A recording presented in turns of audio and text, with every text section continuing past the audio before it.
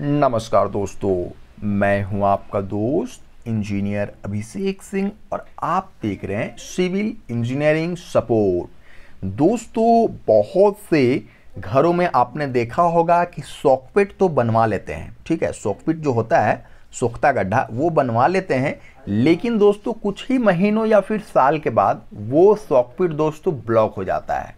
उसमें पानी सोखने का जो क्षमता है वो नहीं रह जाता है। तो चलिए, आज मैं आपको एक कंप्लीट बनाए जा चुके सोकपिट के डिज़ाइन को आपके साथ डिटेल में बताता हूँ। साथ ही साथ क्या गलती होता है और किस तरह से बचना चाहिए, उस पर मैं प्रकाश डालने का कोशिश करता हूँ।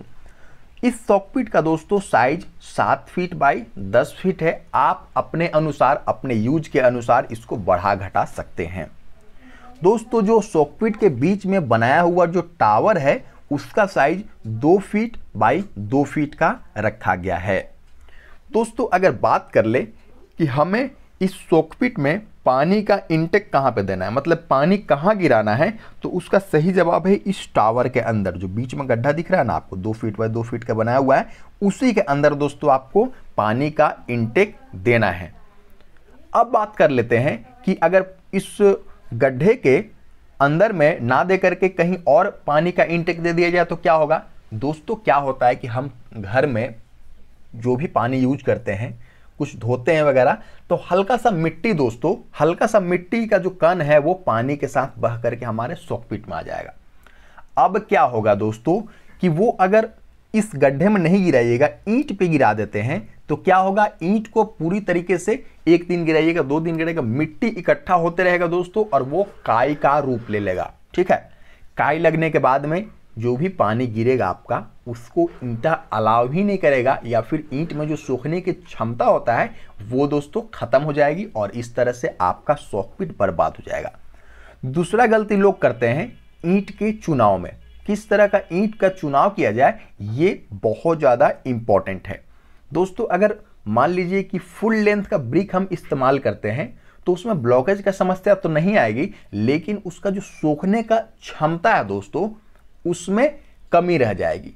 वही ईंट को अगर आप बीच से तोड़ देते हैं तो आपका दो साइड और बढ़ गया। तो और ईंट में दोस्तों, पानी सोखने का जो है वो जगह खुल गया। तो इस तरह से हाफ़ लेंथ का जो ब्रिक है, आधा ईंटा है, उसका ही दोस्तों इस्तेमाल करते हैं। बहुत से लोग एक और गलती करते हैं कि वो ईंट का जो छोटा छोटा चूरा होता है दोस्तों, उसको भी डालना स्टार्ट कर देते हैं। उसको बिल्कुल भी नहीं डालना है। चलिए मैं आपको दिखाता हूँ कि क्यों नहीं डालना है। दोस्तों, अगर ईंट का छोटा चूरा अपने सोकपीट में आप डालते हैं, देखिए इस तरह का तो ये क्या होता है कि कुछ महीने या साल के बाद गल जाएगा। ठीक है? ये पाउडर के फॉर्म में आ जाएगा, गल जाएगा, टूट जाएगा।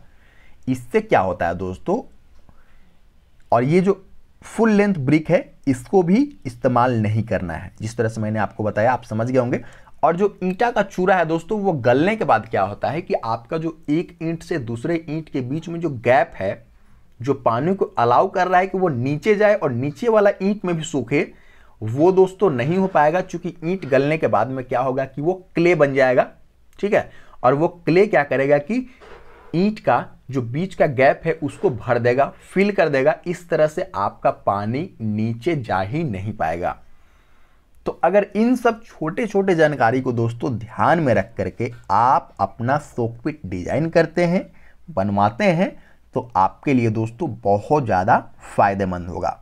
कुछ इस तरह से दोस्तों मैं आपको दिखा देता हूँ। ये देखिए, ये हमारा सेप्टिक टैंक है और उसके बाद में देखेंगे तो ये सॉकपिट आपको दिख रहा होगा दोस्तों।